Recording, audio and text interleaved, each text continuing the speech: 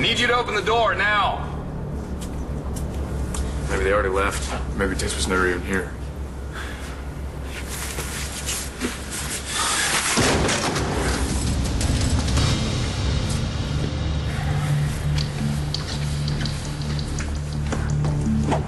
So much for that idea. Sure, she'd be here by now. You looking for me? Make yourselves at home. We've been expecting you.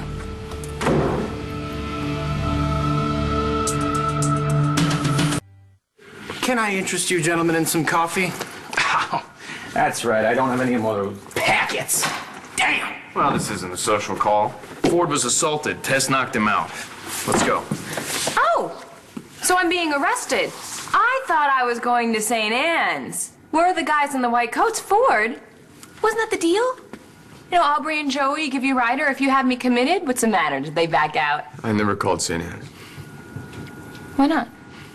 He had to find you first. You sign the papers, and I'll call St. Anne's. What if Joey and Aubrey backed out? Then you get Tess released. I've got nothing to lose.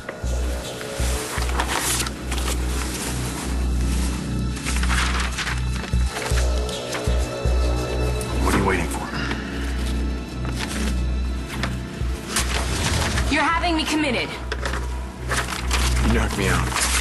You could have killed me. Call St.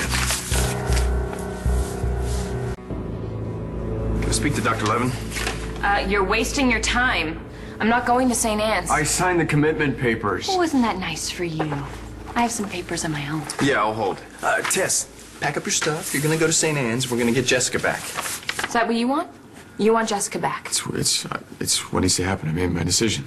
It's, uh, it's not really your decision to make. Hey, I'm her husband. Ah! Guess again. What's that? Yeah, just give me his voicemail, please. Your marriage has been annulled, Robert Ford. I am now officially not Mrs. Robert Ford.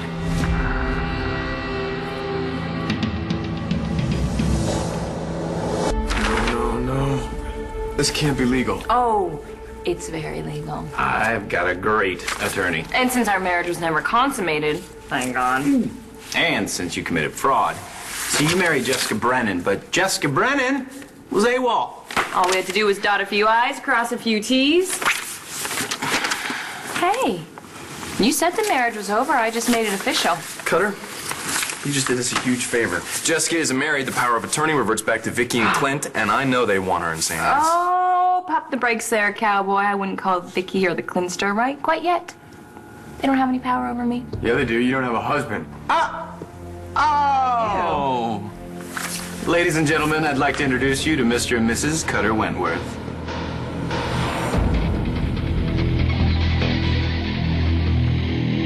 What the hell? Oh, it's okay.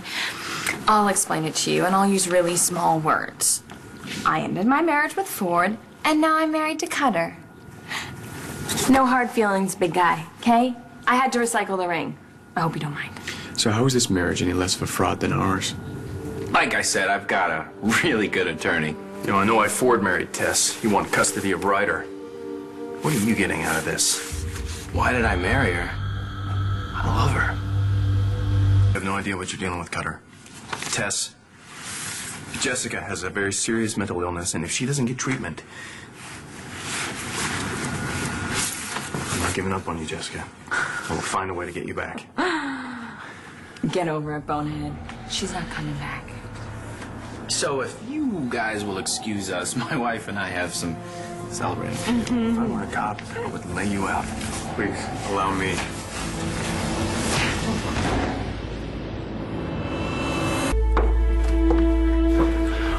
Arrest him. Oh, he just assaulted me. I didn't see anything. Boys, boys, if we can't play nice, I'm gonna have to ask you to leave. But, uh, if you guys want to get us a gift, we're registered at Logan's. Cutter there wants a Z-Box. I'd like an espresso machine. Okay? Scoot, get out.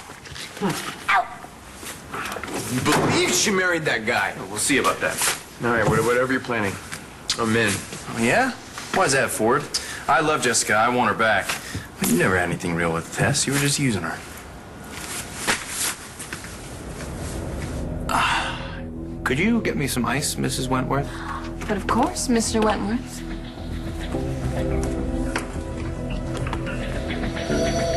We did it. Yeah, we did. You got your freedom. And you're gonna get your half of the Buchanan fortune.